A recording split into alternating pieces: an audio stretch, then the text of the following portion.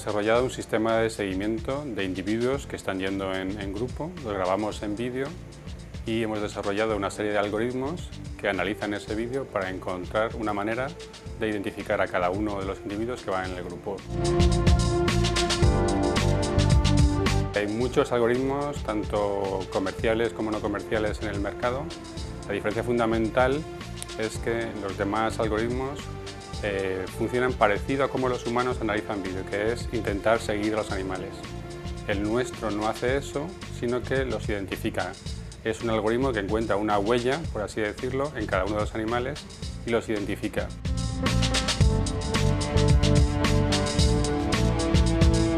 Si tú intentas seguir los animales, en cuanto cometes un error, ese error se propaga hasta el final del vídeo, haciendo que la asignación de los individuos al final sea completamente al azar. En nuestro caso no puede ocurrir ese error porque los identificamos en todos los puntos del vídeo. Entonces da igual que los animales se crucen o se toquen, continuamente los reidentificamos y no puede haber una propagación del error.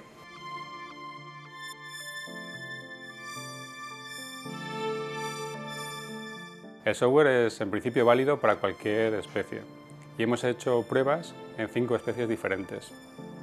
La que más hemos probado, porque es nuestro animal de, investigación, es el pez cebra, pero también lo hemos hecho en la mosca drosófila, en el ratón, en otro pez, medaca, y en hormigas.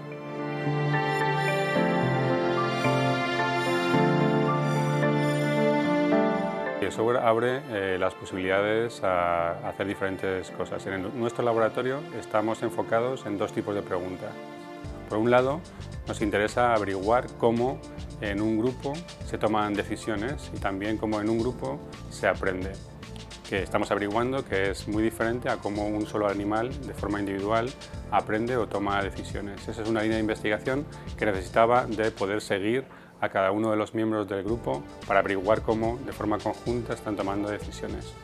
Una segunda línea de investigación que también necesita de este software es eh, cómo las diferentes personalidades de cada uno de los miembros del grupo influyen en el comportamiento del grupo.